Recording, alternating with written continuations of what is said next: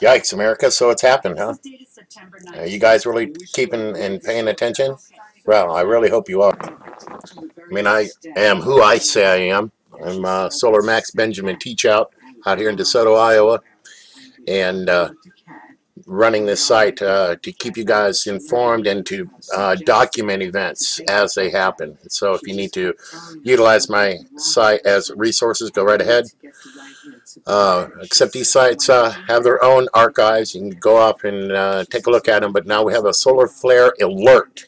Okay, uh, this is something uh, that's well, and it was a sustained X-class flare. Okay, uh, we got a major flare detected. It's a X1.2. It was off of the region that we've been warning you about. Here's your solar global absorption layer. We can uh, experience even some blackouts, uh, especially up here in the northern territories. Uh, even here in the United States, uh, we're going to have some transmission problems when it comes to the uh, satellite communications. Um, sorry about the audio here. I'll just go ahead and mute that out of my TV. Um, uh, but this are uh, these are the initial reports though that are out.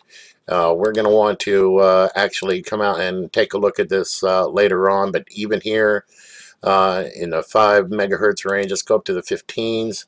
Okay, so we, are talking some real major storming that's going to happen as a result of this. This spiral is going to take a while to update, but this is just happening, folks.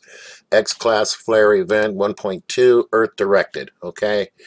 Uh, we got a uh, the solar flux hasn't changed that much except over here the 245 range. We got the BZ that's already at a negative 1.3. Uh, solar wind right now is at a minimal, uh, but you know we're taking some pretty good shock from this over here.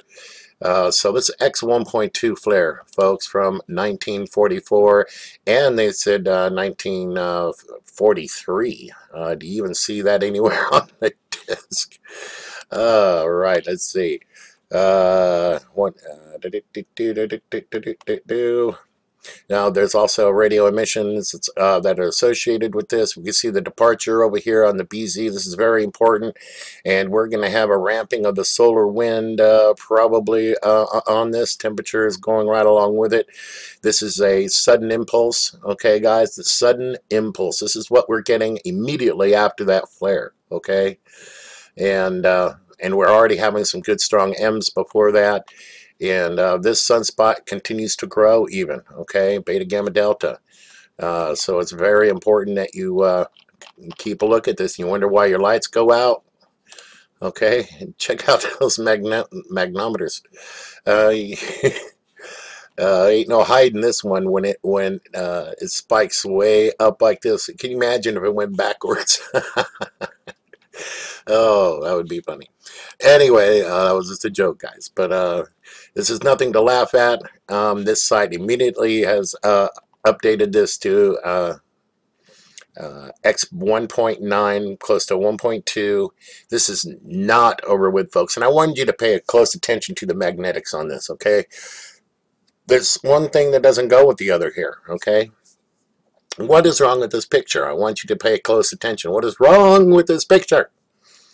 Okay, this is one of the reasons why I want to show you. You see the blue leading the red, and out here you got the red leading the blue.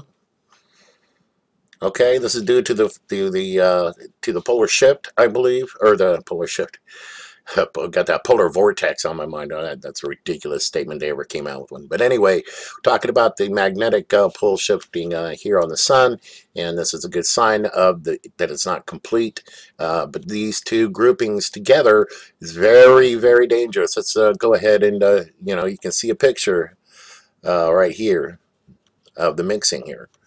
and like I said, it doesn't take an X, but this is right at us. Um, what what's going to happen, uh, it's really hard to tell. Uh, here's your uh, two-hour data. Uh, and when the pulse is having noticed a dip in the wind, okay, and then a spike in the wind, okay, over here, dip, and recovery, then a spike over here in the density, spike over here in the density. And we have this major departure here, too, on the BZ. Uh, so when it comes to this proton storming, uh, etc., we gotta really keep a a close eye. Uh, that BZ uh, departure uh, is something to worry about as well. Uh, that could really do some frying. Uh, but please keep attention, guys. Uh, X-Class flare alert. And this thing is not over with. God bless you.